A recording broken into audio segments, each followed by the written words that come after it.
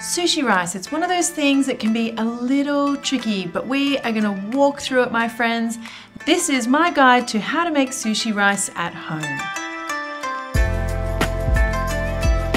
So there are a few things with sushi rice. Um, one, like you kind of want your sushi rice to be really tender and cooked through obviously, but it can't be gluggy. So that's one thing. Um, you do want it to hold its shape and its grain, but you don't want it to be like bitey and chalky.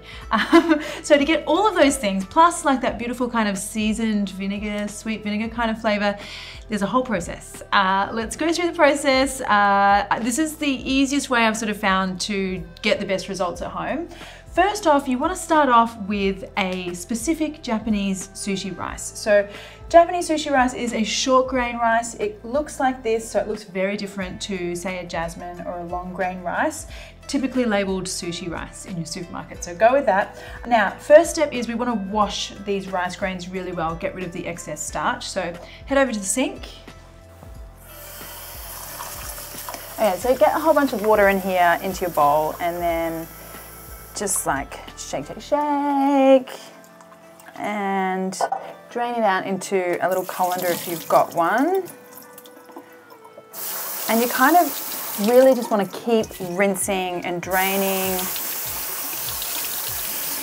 Kind of nice to get it back into the bowl because you can see just how milky the rice is. So by milky, I mean that starch that's coming off it. So fill it up again. Swish, swish, swish. Technical rice washing sound universal. Swish, swish, swish. Surely. All right, see, it's still like milky. So again, I'm gonna rinse it off. Now, apparently, I read on Google that um, sushi chefs might do this up to like nine, ten times. So I don't think you can do it too much. So now if you have a look, you can see we're not really getting much milky stuff happening now. Like we're pretty, we're pretty good here, I think. I might just do one more for good luck. All right, that looks pretty good, see? Almost kind of clear. So once we've got our rice rinsed off, I'm gonna pop it straight into a saucepan. All right, so one little trick here for getting like an extra little bit of flavor into our rice is to use some kombu. And uh, this is dried seaweed you can buy in most Asian shops or search it out online. Just pop that in with your rice. And now here comes the water rice ratio kind of thing. So I think I did lots of testing on different types of rice and I found that different brands of rice had needed different amounts of water. So I think you should go with whatever water instructions are given on your particular brand of rice that you're using. Mine says one cup rice, one and a half cups water. So that's what I'm gonna do.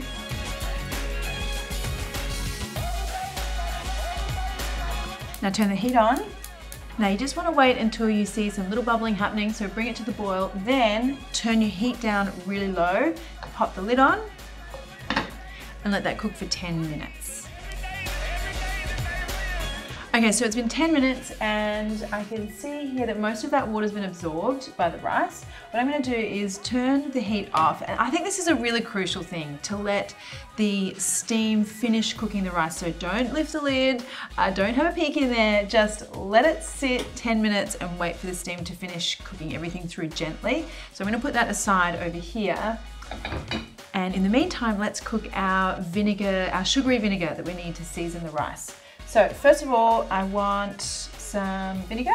This is just a rice vinegar, a Japanese rice vinegar. I feel like it has like a little bit of sweetness as well as the vinegar kind of tang. So if you can get the Japanese uh, rice vinegar, that would be best, I think.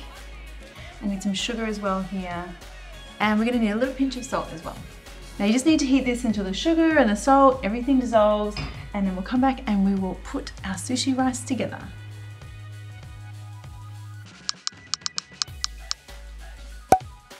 All right, moment of truth. We've had our rice just sitting there, steaming away, covered up for 10 minutes. I'm gonna open up, let's have a look. Okay, so let's have a look in here. You can see our rice grains look really nice and shiny and plump and lovely. I'm gonna take this seaweed out. Seaweed's done its job. So, go away. So I'm just gonna fluff these rice grains up a little bit. Um, I'm using a paddle that just came with like my rice cooker actually. Typically the rice cooker ones are pretty good, these plastic ones, um, but obviously you can use like more traditional wooden kind of paddle. Uh, you could also use a fork as well, just to fluff things up a little bit. This is looking pretty good. I like the texture here. I can see it's not too sticky. Okay, so now I'm gonna just get my rice out into a wide, shallow dish. You can do this on a tray as well if you like. Spread that rice out. So now we wanna drizzle over some of that sugary vinegar we made earlier.